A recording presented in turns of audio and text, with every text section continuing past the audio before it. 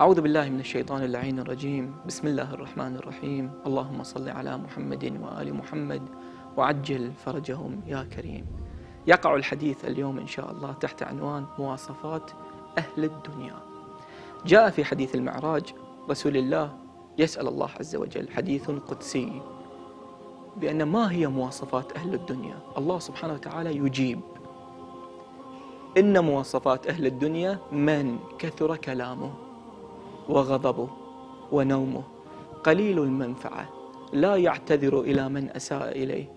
وأيضا يذكر الله سبحانه وتعالى العديد من الصفات السلبية إلى أن يقول ومن كثر كلامه. لا يمكن التركيز على كل الصفات السلبية في هذه الحلقة القصيرة إلا سلبيتين. السلبية الأولى كثرة الغضب الثانية كثرة الكلام. ورد في الروايات عن كثرة الغضب إخواني إن الغضب مفتاح كل شر. كل شر مفتاحه الغضب. أنا أتفاجأ إخواني أشوف شخص متدين يغضب على الصغيرة والكبيرة. أحط تساؤل شلون هذا الإنسان متدين ويغضب على كل شيء؟ عموما ورد في هذه الرواية والرواية عبارة عن قصة جميلة. إن كان للإمام الصادق صديق لا يفارق الإمام الصادق أبدا. ولهذا الصديق كان له غلام. الإمام الصادق والصديق كانا ذاهبان إلى السوق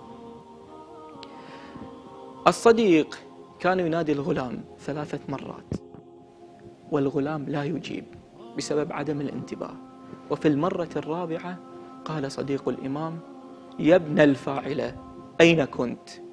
الإمام تفاجأ من هذا الصديق فصك بيده جبهته الشريفة وقال كنت أحسب لك ورع فإذا ليس لك ورع يعني باللغة كنت أعتقد أن عندك دين ولكن تبين ما عندك دين.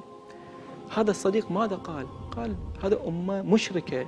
وتعلمون أن الأمة المشركة الزواج يكون باطل. الإمام قال لكل أمة نكاح يعني لكل أمة زواج ونكاح معين. عموما إخواني يقول الراوي أن الإمام افترق عن هذا الصديق وفرقهم الموت. أما السلبية الثانية وهي كثرة الكلام.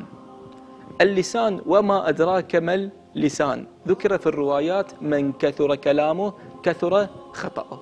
إخواني هذه الجارحة هذا اللسان دائما يجرح الآخرين إذا ما وضعنا إليه ضوابط. والحمد لله رب العالمين والصلاة والسلام على أشرف الأنبياء وسيد المرسلين.